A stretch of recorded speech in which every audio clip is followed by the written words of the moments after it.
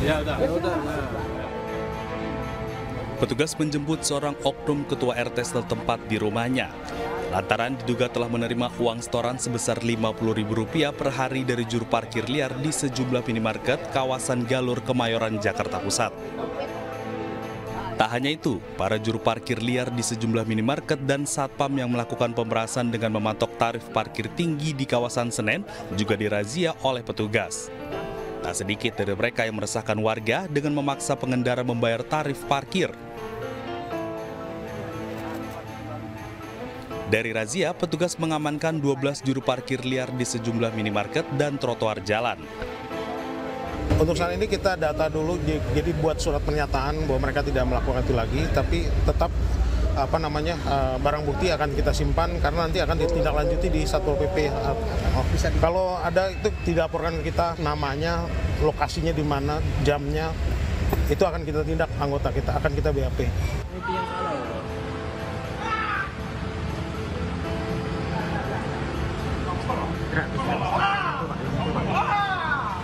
Razia digelar demi memberantas aksi premanisme berkedok jukir liar.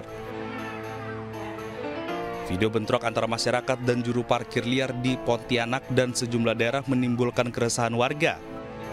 Petugas pengimbau agar warga segera melapor jika menemukan adanya aksi pemerasan berkedok juru parkir saat memarkirkan kendaraan, baik di minimarket, pasar tradisional, maupun trotoar jalan.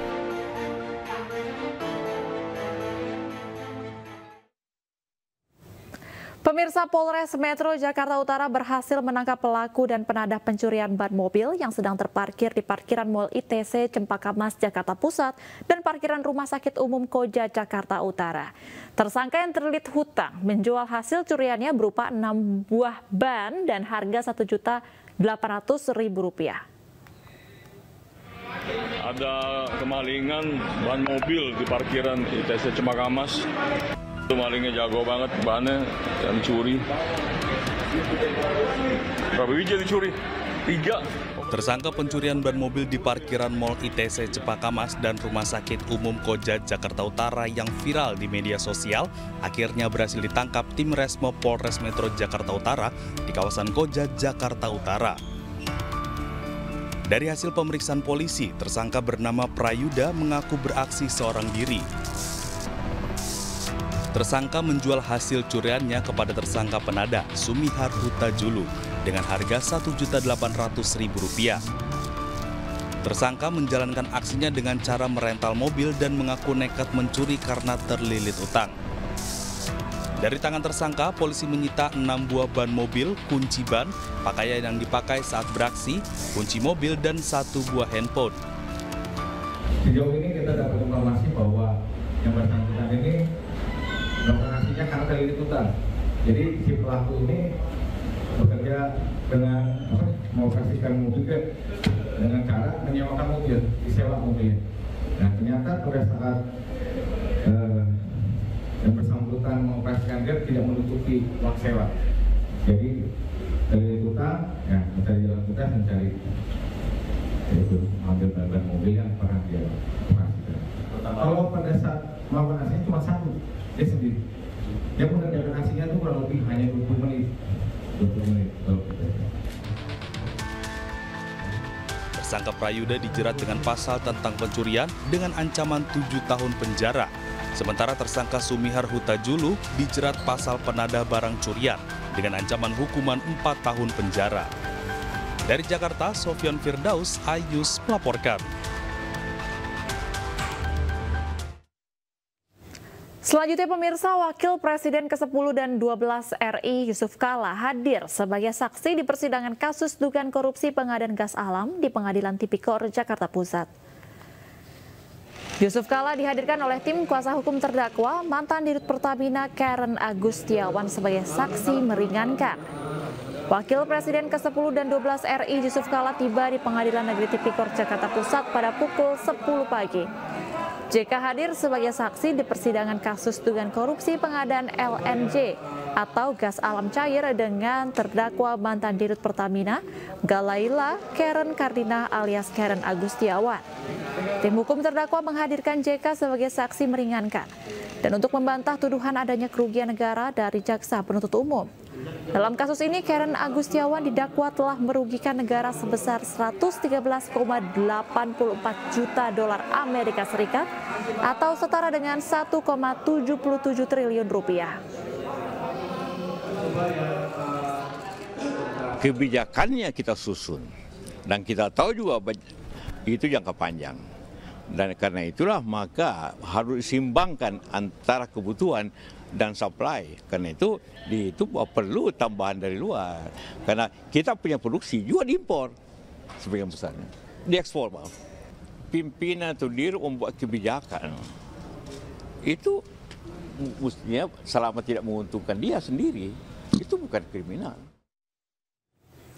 Sebelumnya KPK telah menetapkan Karen Agustiawan sebagai tersangka pada 20 September 2023 yang lalu karena diduga merugikan negara senilai 2,1 triliun rupiah.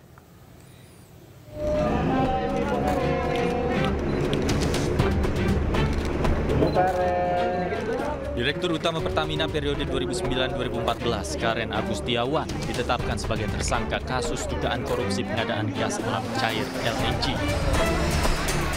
Selain Karen, penyidik KPK juga memeriksa mantan Menteri BUMN Dahlan Iskan sebagai saksi. KPK akhirnya menahan Karen Agustiawan di rumah tahanan negara KPK. Karen diduga merugikan negara senilai 2,1 triliun rupiah.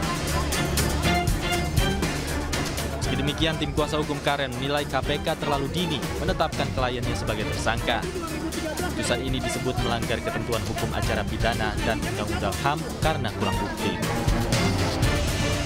ini semua sudah dilakukan sebaik mungkin dan Pertamina pun tidak perlu rugi kalau memang menjalankan tender yang hasilnya di bulan Oktober 2018.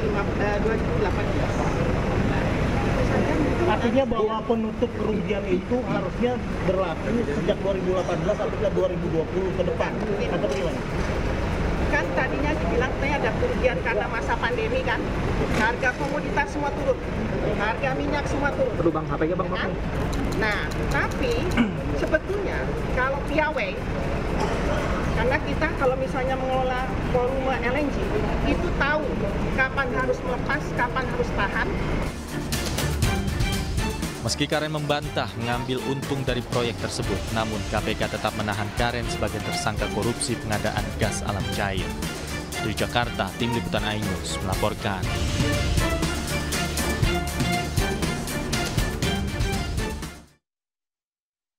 Pemirsa nasabah PT MNC Finance di Jakarta Barat mendapatkan satu unit sepeda motor dalam program Gebiar Promo Loyalty Customer 2024.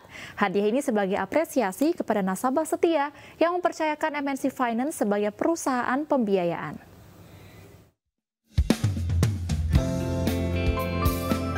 Putri Handayani, seorang nasabah setia MNC Finance di Cengkaring, Jakarta Barat, tidak menyangka mendapatkan hadiah satu unit sepeda motor yang diantarkan langsung ke kediamannya. Putri menjadi salah satu nasabah yang beruntung dalam program Gebiar Promo Loyalty Customer 2024. Kurang lebih dua tahun, karena MNC Finance itu bunganya ringan dan prosesnya cepat. Alhamdulillah senang ya. Tentunya ini jadi momentum ya untuk uh, konsumen sendiri agar lebih percaya ke MNC Finance. Uh, dengan program ini harapannya ke depan juga uh, konsumen uh, mendapatkan sesuatu yang lebih dari MNC Finance. Program Gebiar Promo merupakan bentuk apresiasi kepada nasabah setia yang mempercayakan MNC Finance sebagai perusahaan pembiayaan. Salah satu kriteria yang mendapat apresiasi adalah sudah dua kali mengajukan pinjaman dan melunasinya tepat waktu. Dari Jakarta, Anissa Septiarani M. Khairuddin Ainus melaporkan. Pemirsa 26 tahun menabung, seorang penjual tahu keliling berangkat haji. Informasi selengkapnya akan kami hadirkan untuk Anda, tetaplah di iNews Malam.